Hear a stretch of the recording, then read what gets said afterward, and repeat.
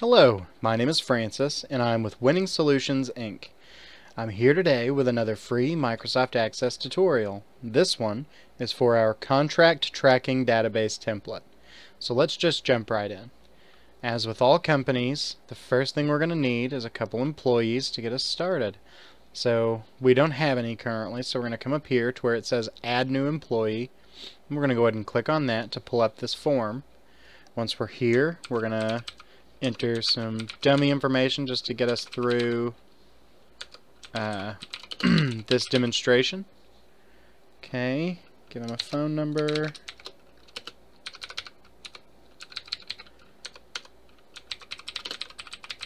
Okay.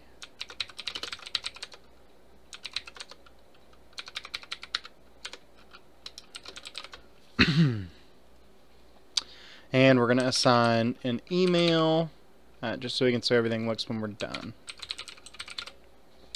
Okay, now, once you have all this, you can just click close and it'll be saved. Uh, I'm going to go ahead and click save and new here because I want to add a second employee.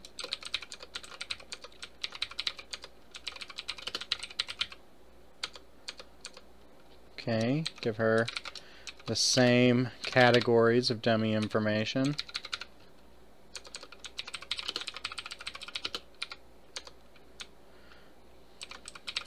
They'll be from the same city.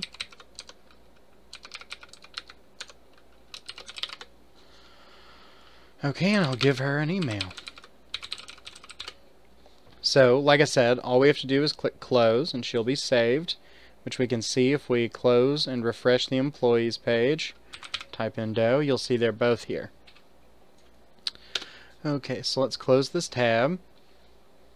Let's go to contracts because we need some work for them to do. Just like with the employee page, we're going to come up here to the top where we have the Add New Contract button, and we're going to click that, which will pull up this form to create a new contract. So I'm going to call this Microsoft Access Tutorial Video. I'm going to make the owner John Doe. I'm going to make it a Category 1, Normal Priority, and we'll say that it is in progress uh, this project shouldn't take very long, but we got Thanksgiving coming up, so I'm going to assign for it to be done uh, Monday, the 2nd of December. Just give them two days to do it. And I'll put that John will create a tutorial video for our contract tracking database template. Okay, so now we got some details for it.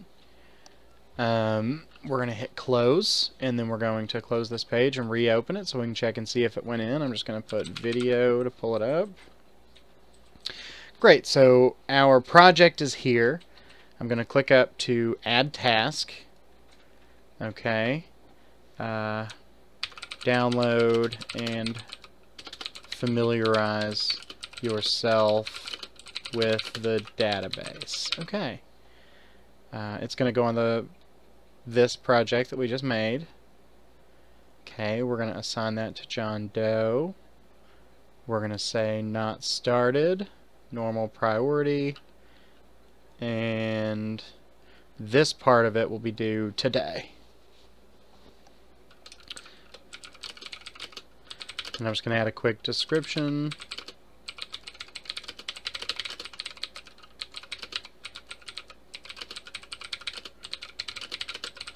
Okay, so we got a quick description in there. We're just going to click close, close, and then we're going to go over to employees. We're going to search for John. Then we're going to click tasks. As you can see, it's right there. So now John has this first task he knows he needs to get done. Okay, so let's go back to the project.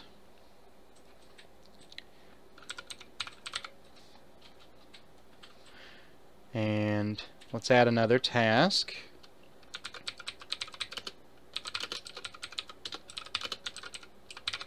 Create and upload video. Same project, also John Doe, not started. And this will give the same due date as the project overall.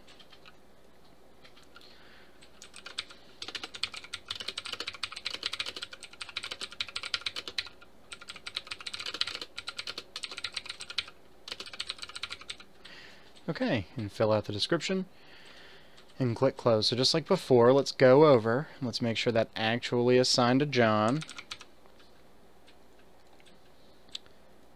Which it did. Great, they're both there. Alright, now we'll just give something for Jane to do. We'll put it on the same contract though.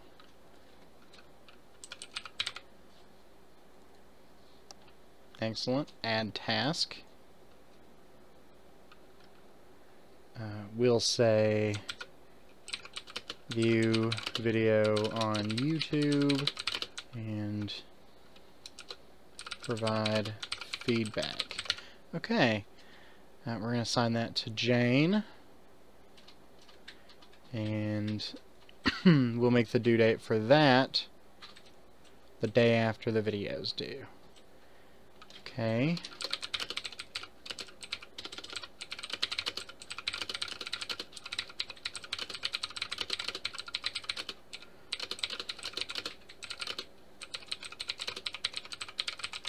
Okay, we're going to close that, so we'll just go back one more time to the Employee tab, and we're going to pull up Jane this time.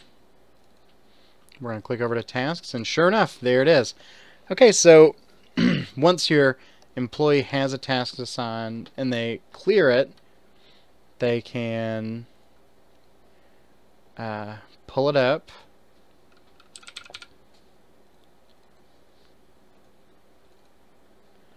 and they can switch it to be a hundred percent complete and they can close it. Alright, so let's look at reports here. We've got completed and deferred contracts. Oh, I need to click on it. Hold on. I need to click on it, and then we can open the report. Okay, so we don't have any contracts completed or deferred yet. So let's look for one we know. Open contracts. That'll pull one up. So as you can see, there is our contract. It's currently in progress. Okay. And then tasks by assigned to, so you can see which employee is doing what and how far along they are. It's an important part of the process. Okay, so those are just a couple of our reports, but I think you can get an idea from how our report screen works from there. Uh, the last thing I want to show you is the maintain lists section. This is really the bread and butter of providing more detail to your project. So you've got categories. You know, you could say uh, app development, video development, document development. These might not fit whatever you're doing with it, but they're just a couple examples. So now if I went through to make a new project, these would be available in the category section when I click through. Uh, priorities, if you don't like ours, you can change them, you can add more, and the same goes for status. Okay, well this has been the WSI Contract Tracking Database Template. I hope you found this tutorial to be both informative and entertaining, and I hope you have a good one. Thank you.